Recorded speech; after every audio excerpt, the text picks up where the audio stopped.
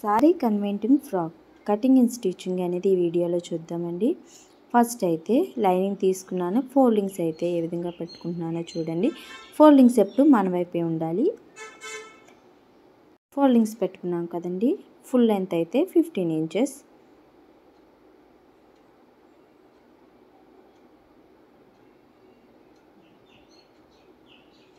Shoulder six inches. Arm hole 6 inches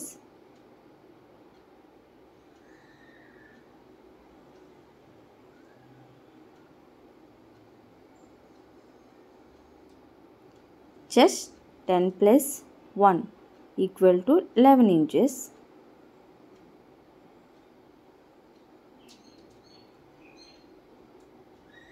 waist ఇప్పుడైతే ముందుగా అయితే దాన్ని అయితే మార్కింగ్ చేసుకుంటున్నానండి. వేస్ట్ అయితే nine plus one is equal to ten inches అండి.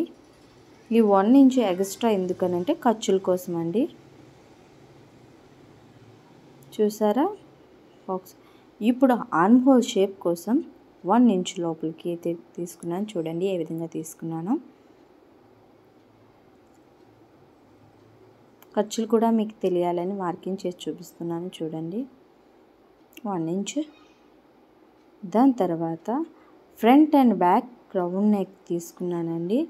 దాని తర్వాత కీ హోల్ అనేది పెడతాను. ఫుల్ లెంత్ అయితే ఫోర్ ఇంచెస్. నెక్ది అయితే త్రీ ఇంచ్. చూడండి.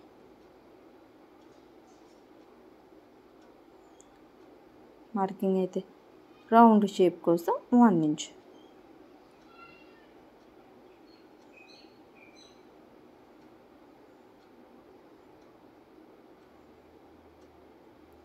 ఇప్పుడైతే కట్ చేసుకుంటున్నాను. చూడండి ఏ విధంగా కట్ చేసుకుంటున్నాను అనేది కూడా. ఇక్కడైతే షోల్డర్ హ్యాండ్స్ వైపు హాఫ్ ఇంచ్ డౌన్ చేసుకుంటున్నానండి. ఇలా డౌన్ చేసుకోవడం వల్ల షోల్డర్స్ అయితే జారడం అలాంటివి ఏవి ఉండవండి.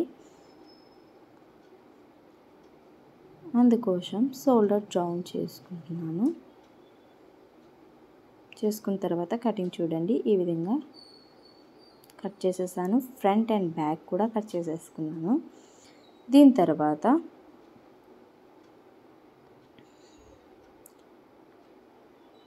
ఎక్స్ట్రా పీస్ కింద ఉందండి. దాన్ని అయితే కట్ చేసుకుంటున్నాను.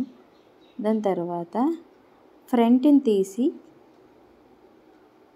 నెక్ కూడా కట్ చేసేసుకొని ఫ్రంట్ని తీసి పక్కన పెట్టేస్తున్నానండి. ఇప్పుడు బ్యాక్ని చూడండి. బ్యాక్కి కీ హోల్ అనేది అటాచ్ చేస్తున్నాను. కింద నుంచి ఫోర్ ఇంచెస్ లెంత్ అండి పైకి తీసుకున్నాను. ఇప్పుడు ఇలా. ఇక్కడైతే వన్ ఇంచ్ అనేది ఉంచేసానండి.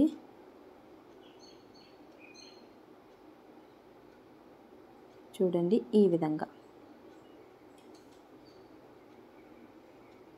ఇలా రౌండ్ షేప్ వచ్చేటట్లుగా నేనైతే తీసుకున్నాను. దీన్ని ఇప్పుడు కటింగ్ చేసి మీకు చూపిస్తాను. చూడండి ఏ విధంగా వచ్చిందో అనేది కూడా. ఇదిగోండి ఈ విధంగా అయితే కటింగ్ చేసుకుని కూడా ఇప్పుడైతే పైన యోక్ పాట్ అయితే రెడీ అయిపోయింది. ఇప్పుడు కింద స్కర్ట్ కోసం అయితే నేనైతే లైనింగ్ అయితే ఏం తీసుకోలేదండి లంగా తీసుకున్నాను. ఇప్పుడైతే శారీని తీసుకున్నానండి. ఇప్పుడు శారీని ఇప్పుడు శారీ పళ్ళు ఉంది కదండి ఎక్కువ ఫ్లవర్స్తో ఉంది. దాన్ని అయితే నేను యోగ్ పార్ట్కి అటాచ్ చేద్దాం అనేసి ఫ్లవర్స్ ఎక్కువగా ఉంది కాబట్టి బాగుంటుందని యోగ్ పార్ట్కి ఇప్పుడు పళ్ళుని అయితే తీసుకుంటున్నానండి. ఇలా ఫ్రంట్ బ్యాక్ పెట్టేసుకొని ఇట్లా కట్ చేసేసుకుంటున్నాను. ఎక్స్ట్రా ఫ్యాబ్రిక్ ఉంచుకొని కట్ చేస్తున్నాను. అండి ఎందుకనంటే ఇది కొంచెం సాఫ్ట్గా ఉంది సారీ అనేది. అందుకే ఎక్స్ట్రా ఫ్యాబ్రిక్ ఉండి కట్ చేసుకుంటే మనం కుట్టేటప్పుడు కరెక్ట్గా కూడా కుట్టుకోవచ్చు. ఇలా పిన్నెలు పెట్టుకొని కుట్టుకుంటే కూడా కరెక్ట్గా వస్తుందండి. ఫ్రంట్ బ్యాక్ అనేది పెట్టేసుకున్నాను. దాని తర్వాత హ్యాండ్స్ కోసం ఇప్పుడైతే నేనైతే పీస్ తీస్తున్నానండి. ఇంకోండి హ్యాండ్స్ కోసం అయితే పీస్ తీస్తున్నాను. ఫుల్ లెంత్ అయితే నాకు ఫోర్టీన్ కావాలి. ప్రస్తుతానికి ఫిఫ్టీన్ తీసుకున్నాను.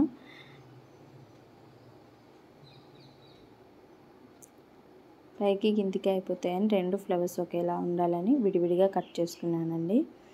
ఇంకోండి ఇప్పుడు ఫుల్ లెంత్ అయితే ఫోర్టీన్ ఇంచెస్.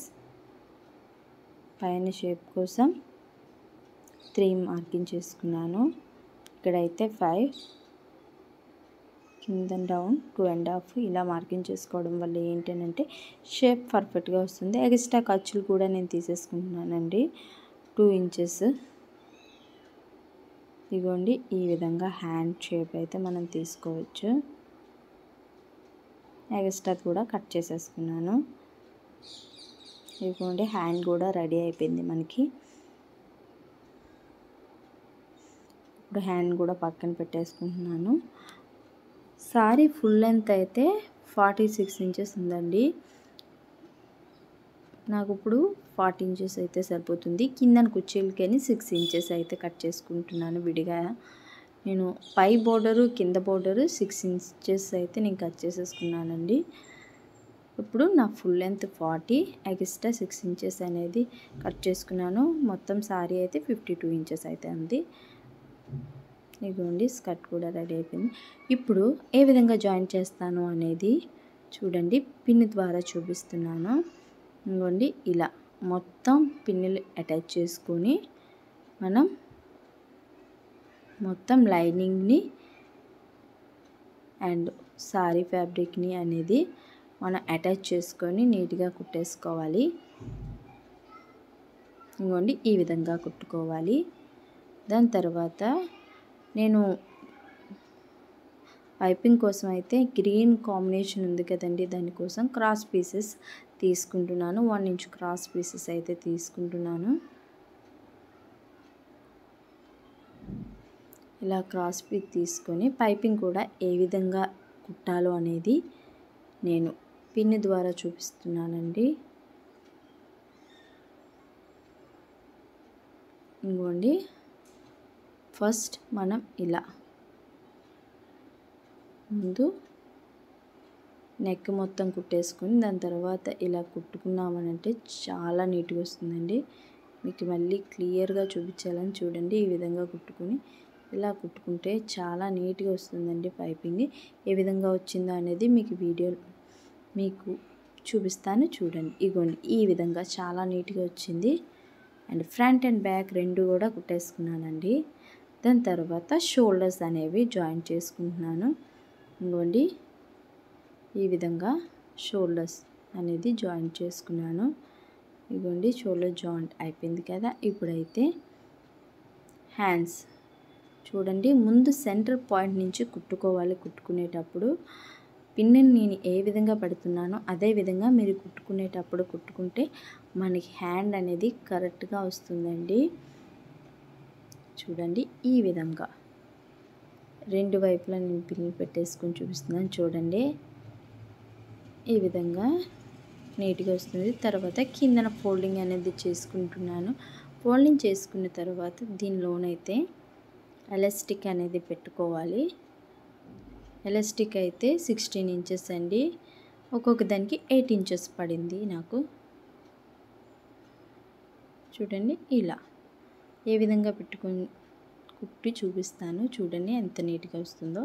ఇగోండి ఇలా వచ్చింది. దీని తర్వాత ఇప్పుడు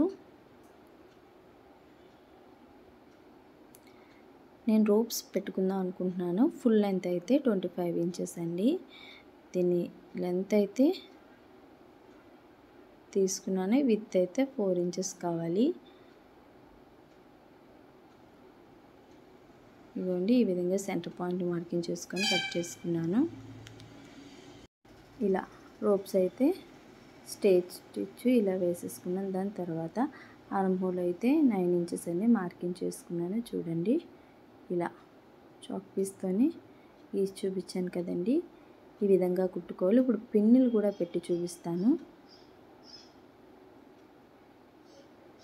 ఇలా రెండు వైపులా కుట్టుకోవాలండి. చూసారా? ఇలా రెండు వైపులా కుట్టేసుకున్నాక మనకి షోల్డర్ దగ్గర నుంచి కిందన డౌన్ చూసుకోవాలండి. కరెక్ట్ సెంటర్ పాయింట్ చూసుకొని దానికి ఫోర్ ఇంచెస్ పైకి మార్కింగ్ చేసుకోవాలండి. ఫ్రంట్ వైపు అయితే అటువైపు వన్ ఇంచ్ ఇటువైపు వన్ ఇంచ్ అనేది మార్కింగ్ చేసుకోవాలి. బ్యాక్ వైపు అయితే అటువైపు హాఫ్ ఇంచ్ ఇటువైపు హాఫ్ ఇంచ్ మార్కింగ్ చేసుకొని డాట్స్ అనేవి వేసుకోవాలండి. చూడండి నేను రెండు వైపులా మార్కింగ్ ఏ విధంగా పెడుతున్నాను అనేది చూపిస్తున్నాను. ఇవ్వండి. మీకు అంతగా అయితే ఒకవైపు మార్కింగ్ పెట్టుకొని తర్వాత వై తెలియడానికి డాట్స్ అనేవి పెట్టి కూడా చూపిస్తున్నాను. ఈ విధంగా పిన్నెలు పెట్టి చూపించాను కదండి. ఈ విధంగా రెండు వైపులా కుట్టేసుకున్నాక యోగ్ పాట్ అయితే మనకి రెడీ అయిపోయింది. యోగ్ పాట్ని అయితే పక్కన పెట్టుకుందాం. ఇప్పుడైతే స్కర్ట్ని తీసుకుందామండి. నేనైతే స్కర్ట్ని లాడా ఉన్నదైతే కట్ చేసేసాను. చూడండి.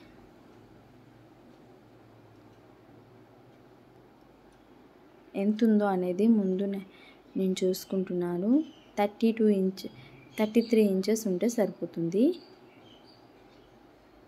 ఎందుకంటే వన్ ఇంచ్ ఎక్స్ట్రా ఉంచుకుంటే మంచిది కదా. దానికోసం థర్టీ త్రీ ఇంచెస్కి అవి చిన్న చిన్న డాట్స్ అనేవి వేసుకున్నాను. ఇప్పుడు ఈ సారీ ఫ్యాబ్రిక్కి డాట్స్ అనేవి ఇగోండి ఇలా చిన్న చిన్న కుర్చీలు పెట్టుకొని సారీ లెంత్ అంతా థర్టీ త్రీ వచ్చేంత వరకు కుట్టుకోవాలి. చూడండి ఈ విధంగా. దాని తర్వాత కిందన సిక్స్ ఇంచెస్ పీస్ ఉంది కదండి. సేమ్ అది కూడా చిన్న చిన్న కుర్చీలు పెట్టుకొని కింద స్కర్ట్ అంతా కిందన చూడండి ఈ విధంగా కుట్టుకోవాలి. ఇలా రెడీ అయిపోయింది. పైన యోక్ రెడీ అయిపోయింది. కిందన స్కర్ట్ కూడా రెడీ అవుతుంది. ఇంకోండి ఇప్పుడైతే లైనింగ్ జాయిన్ చేస్తున్నాను. ఈ విధంగా. ఇగోండి ఈ విధంగా కరెక్ట్గా పెట్టేసుకుంటే చక్కగా వచ్చేస్తుందండి. నీట్గా అయిపోతుంది కూడా.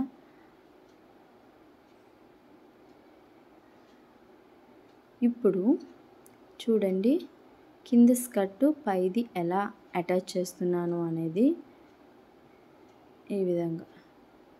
బ్లౌజ్ అనేది తిరగేసి ఉండాలి. కింద స్కర్ట్ మామూలుగా ఉండాలి. అప్పుడు కరెక్ట్గా అనేది వచ్చేస్తుందండి. ఇంకోండి ఇలా కరెక్ట్గా వస్తుంది.